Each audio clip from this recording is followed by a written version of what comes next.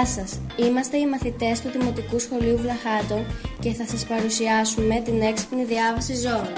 Πρώτα όμως, λίγα λόγια για το χωριό μας. Τα Βλαχάτα βρίσκονται στην πλαγιά του υψηλότερου βουνού της Κεφαλονιάς του Ένου.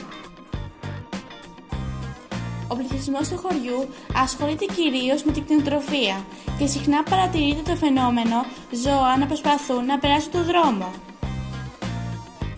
Η διάβαση έχει στόχο την προστασία των ζώων που κυκλοφορούν ελεύθερα στο χωριό μας καθώς και των οδηγών των αυτοκινήτων.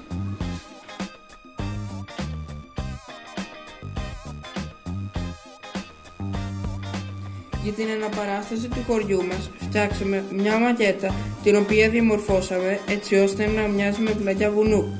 Επίσης υπάρχει ένας δρόμος τον οποίο διαπερνά ένα μονοπάτι ζώων. Στο μονοπάτι έχουμε τοποθετήσει τους αισθητήρες και σε κάθε πλευρά του δρόμου έχουμε τοποθετήσει φανάρια και μπάρες διακοπής της κυκλοφορίας. Όταν ένα ζώο πλησιάζει το δρόμο για να τον διασχίσει, το αντιλαμβάνονται αισθητήρες και το κέντρο ελέγχου σταματά την κυκλοφορία ανάβοντας τα κόκκινα φανάρια και κατεβάζοντας μπάρες. Όταν το ζώο περάσει με ασφάλεια, τότε το κέντρο ελέγχου αποκαθιστά την κυκλοφορία ανεβάζοντας τις μπάρες και ανάβοντας τα πράσινα φανάρια. Τώρα θα σας δείξουμε την κατασκευή μας σε δράση.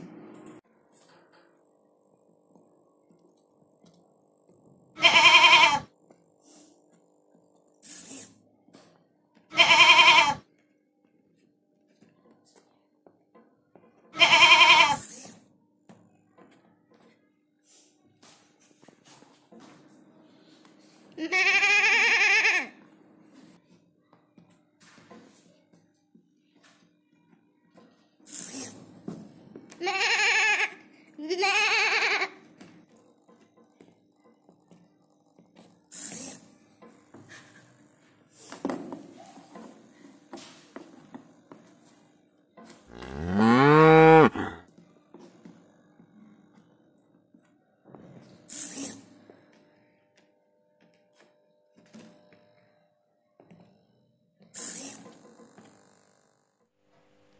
Ελάτε να το δούμε πιο αναλυτικά. Όπως παρατηρούμε, μια κατσίκα θέλει να περάσει στην κάτω μεριά του χωριού διασχίζοντας κάθετα το δρόμο. Η κατσίκα κατεβαίνοντας από την πλαγιά περνάει μπροστά από τους αισθητήρες υπερήθρων.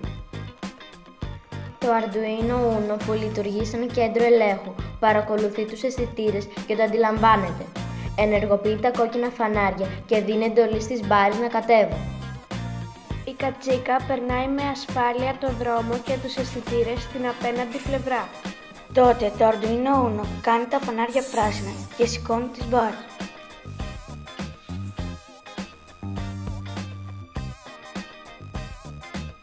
Για κάθε φανάρι χρησιμοποιήσαμε τρία χρωματιστά LED, ένα κόκκινο, ένα πορτοκαλί και ένα πράσινο. Για τις μπάρες χρησιμοποιήσαμε δύο σερβος στα οποία κολλήσαμε ξυλαράκια. Για κάθε αισθητήρα χρησιμοποιήσαμε ένα LED υπερήθρων που εκπέμπει συνεχώς.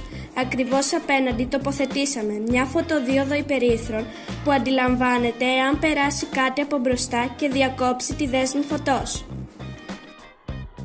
Όπως είπαμε, στα κέντρο ελέγχου χρησιμοποιήσαμε το Arduino Uno και για να δημιουργήσουμε το πρόγραμμά του χρησιμοποιήσαμε το λογισμικό ανοιχτού κώδικα Blockly Arduino.